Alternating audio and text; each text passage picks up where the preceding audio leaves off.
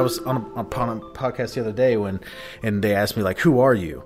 And it just kind of like hit me in my in like it just hit my brain like at that exact moment. I was like, I'm just an ordinary person trying to do extraordinary things just by doing the extra, and it's just work. Like at the end of the day we're always told about the stories of winning, and and it, because we're not told the backstory of any of those things, we're not told about the 20 years that actor put into perfecting his craft, or the 20 years that business person put into building the structure underneath them that allowed him to gain success.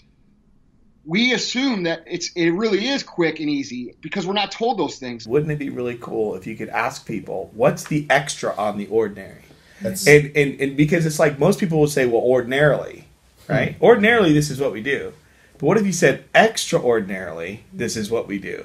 I talk about extraordinary that word all the time because when you break it down, it's just ordinary and that's just simple. It's right. the regular, it's the things that anybody can do. But the magic in that word is the extra part, which just means you're doing more of the regular, ordinary stuff than everybody else. So it's not that you have to go out and invent some new way of doing something. It's not that you have to you know, be the first one that ever sold this type of product in this particular way or found this niche that you're all of a sudden crushing. Like that for me was the greatest encouragement because I was like, I'm not really anything special, but I'll work really, really hard. Uh, and from the very beginning, that was kind of like my my deal. Like my close ratio was super low in the beginning, but I worked so ridiculously hard. I would come back at the end of the week and and my now business partners, but at the time bosses, they, they would ask me, they're like, hey, how many life insurance policies did you sell this week? I'd be like, 120. I'm like, booyah. And they'd be like, well, how many people did you see? And I'm like, 500. And they're like, that sucks. and I'm like, I'm like, what? I sold more than everybody. And I, that was just my whole thing. I was like, I'll figure this, you know, training, I'll learn the stuff down the road, like as I go. But I'm just, if my close ratios 20% and yours is 90, I'm just going to go see five times more people than you are and beat you every single day. And um, that was just kind of like the way I rolled. And then obviously now over time that has gotten way better.